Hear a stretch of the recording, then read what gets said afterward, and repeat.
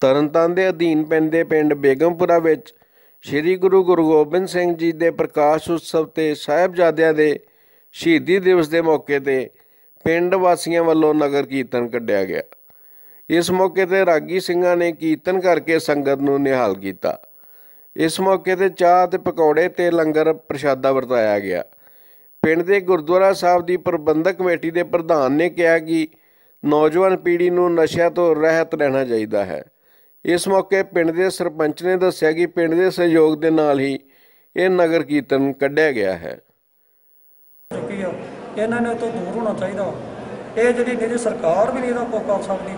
ਜਿੰਨਾ ਚਿਰ ਪਿੰਡ ਦੀਆਂ ਪੰਚਾਇਤਾਂ ਦੇ ਬਾਕੀ ਜਿਹੜਾ ਸੰਯੋਗ ਤੋਂ ਬਗੈਰ ਇਹ ਕੁਝ ਨਹੀਂ ਹੋ ਸਕਦਾ ਇਹਨਾਂ ਨੂੰ ਦੂਰ ਕਰਨ ਵਾਸਤੇ ਪਿੰਡ ਦਾ ਸੰਯੋਗ ਜਿਹੜਾ ਦੂਸਰਿਆਂ ਦਾ ਜਿਹੜਾ ਬਹੁਤ ਜ਼ਿਆਦਾ ਜ਼ਰੂਰੀ ਹੈ। ਸਰਦਾਰ ਮਲਕੀਤ ਸਿੰਘ ਸਰਪੰਚ ਬੇਗਮਪੁਰ ਸਰਪੰਚ ਸਾਹਿਬ ਜਿਹੜਾ ਅੱਜ ਦਾ ਇਹ ਸ਼ੁਭ ਦਿਹਾੜਾ ਮਨਾਇਆ ਗਿਆ ਇਹ ਕਿਸ ਸੰਬੰਧ? ਇਹ ਸਾਹਿਬਜ਼ਾਦਿਆਂ ਦੇ ਸ਼ਹੀਦੀ ਦੇ ਸੰਬੰਧ ਵਿੱਚ ਵੀ ਹੈ ਕਿ ਗੁਰੂ ਗੋਬਿੰਦ ਸਿੰਘ ਦਾ ਜਨਮ ਦਿਹਾੜੇ ਤੇ ਇਹ ਜਿਹੜਾ ਸ਼- ਜਨਮ ਦਿਹਾੜਾ ਮਨਾਇਆ ਗਿਆ ਵਾ ਪਿੰਡ ਦੇ ਸਹਿਯੋਗ ਨਾਲ ਜਾਂ ਆਪਣੇ ਕੋਲੋਂ ਨਹੀਂ ਜੀ ਇਹ ਪਿੰਡ ਦੀ ਸਾਰੀ ਸੰਗਤ ਦੇ ਸੰਯੋਗ ਨਾਲ ਹੈ।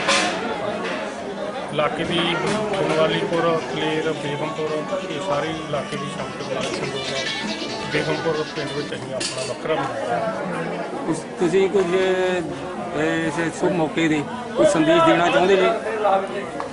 ਸੰਦੇਸ਼ ਇਹੀ ਹੈ ਜੀ ਸਾਡਾ ਗੁਰੂ ਮਹਾਰਾਜ ਦੇ ਲੜ ਲੱਗਣਾ ਚਾਹੀਦਾ ਜੀ। ਹਾਂਜੀ ਉਹਨਾਂ ਦੀਆਂ ਸ਼ਹੀਦੀਆਂ ਤੇ ਸਾਨੂੰ ਜਾਣੀ ਕਿ ਯਾਦ ਰੱਖਣਾ ਚਾਹੀਦਾ ਗੁਰੂ ਗੋਬਿੰਦ ਸਿੰਘ ਦਾ ਦਿਹਾੜਾ ਵੀ ਬਹੁਤ ਖੁਸ਼ੀ ਵਾਲੀ ਗੱਲ ਵੀ ਹੈ ਤੇ ਕੋਈ ਨਵੀਂ ਪੀੜ੍ਹੀ ਨੂੰ ਤੁਸੀਂ ਸੰਦੇਸ਼ ਦੇਣਾ ਚਾਹੁੰਦੇ ਹੋ ਵੀ ਨਸ਼ੇ ਤੋਂ ਰਹਿਤ ਰਹੋ? ਨਵੀਂ ਪੀੜ੍ਹੀ ਨੂੰ ਇਹੀ ਸੰਦੇਸ਼ ਦੇਣਾ ਚਾਹੁੰਦੇ ਹਾਂ ਜੀ ਨਸ਼ੇ ਛੱਡ ਕੇ ਆਪਣੇ ਜਿਹੜੇ ਗੁਰੂ ਮਹਾਰਾਜ ਦੇ ਲੜ ਲੱਗਣਾ ਜਾਣੀ ਕਿ ਸਿੱਖੀ ਵਾਲੇ ਪਾਸੇ ਹੁਣ ਤਰ੍ਹਾਂ ਬੱਚੇ ਅੱਜ ਕੱਲ੍ਹ ਵਾਲ ਕਟਾਈ ਫਿਰਦੇ ਨੇ ਤੇ ਉਹਨਾਂ ਨੂੰ ਇਹ ਕੰਮ ਛੱਡ ਦੇਣੇ ਚਾਹੀਦੇ ਨੇ। ਕਪਿਲ ਗਿੱਲ ਦਿਵਿਆ ਪੰਜਾਬ ਟੀਵੀ ਬੱਟੀ।